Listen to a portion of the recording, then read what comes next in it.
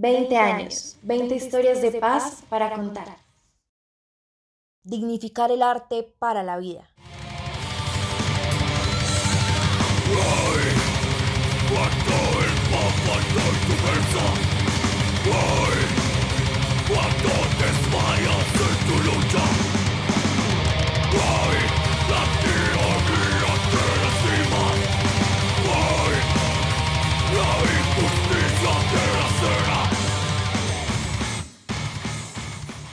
Me bautizaron como José Antonio Adame Ávila, pero pues todo el mundo me conoce como Joseman. Me dedico a fabricar muebles, aparte de la música.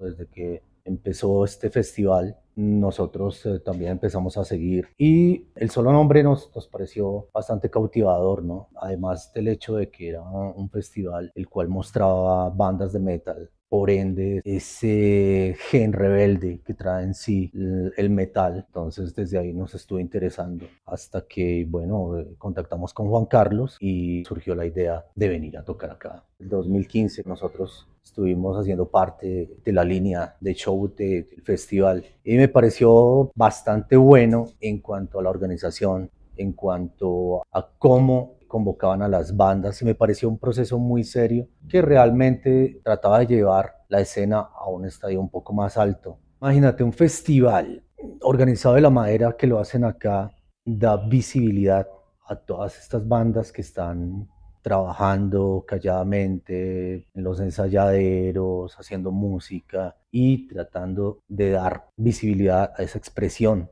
que tienen ellos o de lo que quieren dar a conocer pues a a todo el mundo, al público en general, que en últimas es, es la misión del arte, comunicar en cierta forma qué es lo que sienten con respecto a, a diferentes situaciones que se viven y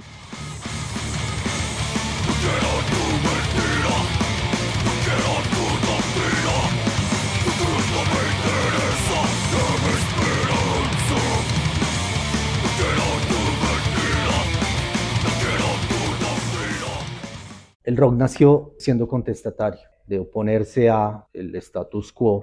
Es simple y llanamente contar lo que está sucediendo, hacer una especie de crónica en una canción. Ahí nomás esa canción está guardando una fotografía del momento en que se está viviendo. Ahí queda guardado, queda archivado para que cualquiera cuando vuelva a escuchar esa canción se dé cuenta de qué estaba pasando en ese momento. Ya estamos haciendo memoria cualquier momento coyuntural de la historia esa necesidad de dejar subrayado, mira lo que hicieron, mira lo que sucedió durante el periodo presidencial de este señor, mira lo que sucedió en América Latina gracias a la deuda externa que impuso el Fondo Monetario Internacional. Esas cosas que pues al común de la gente se le escapan, es bueno dejarlas guardadas en la memoria. Y la música hace crónicas y son la verdad contada por el pueblo.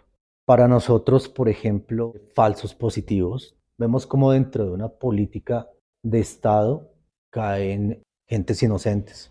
Tuve la oportunidad de escuchar algunos relatos de los que hay en, el Centro de Memoria Histórica y realmente son atroces, desgarradores, de una violencia realmente increíble. Recuerdo que 10 años atrás aquí caía mucha gente y ni siquiera se sabía de dónde disparar. Podía haber sido un grupo político de derecha o uno de izquierda o un grupo armado de narcotraficantes o vándalos, qué sé yo. Y tenemos es que desterrarnos casi que, que ese, ese cromosoma de violentos que hay en Colombia. Y pues en general en toda Latinoamérica hay mucha, mucha violencia.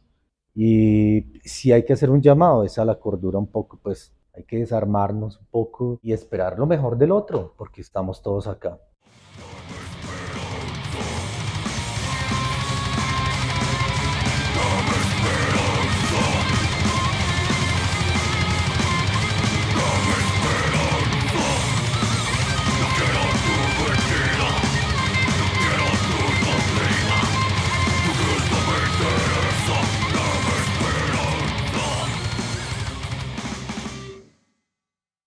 Movimiento Rock Colombia.